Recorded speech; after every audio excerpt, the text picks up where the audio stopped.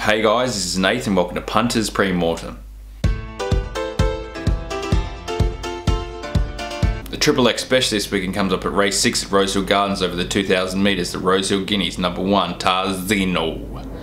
Tarzino! Look, everyone saw it last weekend. He was unlucky to lose the Australian Guineas. Third up, he's going to be rock hard fit now. 2,000 metres on Saturday is going to suit him.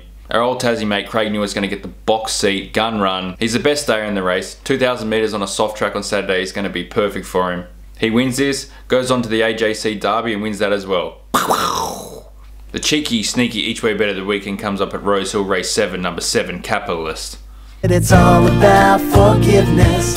Cause we're all too hurt to fight anymore. It's all about forgiveness. Abandon ship! Abandon ship! Alright, you can say that he was below par last start where he was found to be mildly lame. Up until that run he was a $3 favourite and was going to be a dominant winner of this race. The Snowdens are no mugs, but they're not going to have this horse peaking two weeks before the slipper. He's going to be right on race day. $11 is overs and I'm going to be getting on on Saturday. Won't you take me to?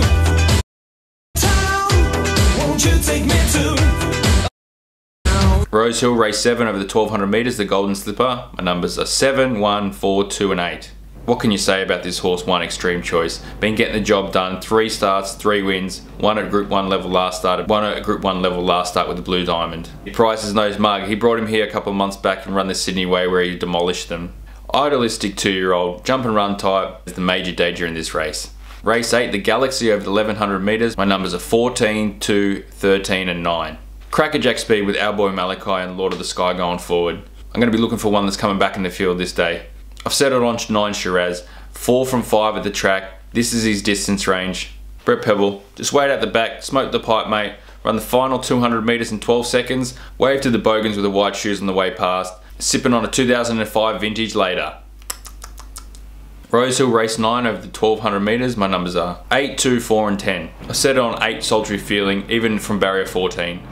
She was beaten up Peeping and who last start went on to win the Coolmore over 1500 metres. Watch for her last 200 metre split. She's going to be rounding these up. Woo! Rosehill race 10 over the 1350. My numbers are 5, 10, 14 and 4. 5 Saddlers Lake looks primed like a diesel engine on Saturday. 1400 metres on a soft track is his go. Blinkers on first time for Chris Waller is a big sign that he's going to be ready to win at first up. Old Ty going to stay behind the leaders. Ocean's going to part for him. He's going to run through the gap, taking to Sequoia Town. Num num. PT.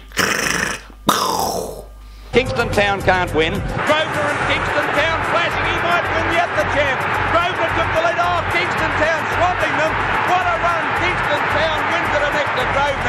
Can't win file this weekend comes up at Rosehill Gardens race 10, number 6, Bull Point. Mate, I saw it last day. No one challenged you for the lead. Old JC Colt brought his basket and was having a one-man picnic. Not going to get a soft lead this start. Three Ecuadors running forward. Religify is going to challenge as well. You're the perennial cat. Definitely not the punter's pal. When you retire, the book is going to put up a monument of how much money they've made from you losing every time. Last start was a fluke and you got no chance of winning on Saturday. We will be very, very angry with you. And we will write you a letter telling you how angry we are. Dear Luke Herzog, mate, you get your chance and look what you do. You don't even get through the second leg. You're whinging all the time. Randy, why can't you get the bloody quaddy? You have a shot and you can't even get through the second leg. Mate, you're just like that dog that stands behind the fence. All bark, no bite. Just like your medium paces, mate. Peanut. And It's all about forgiveness. Cause we're all too hurt to fight anymore. It's all about forgiveness. It doesn't matter who's right anymore. Nobody's going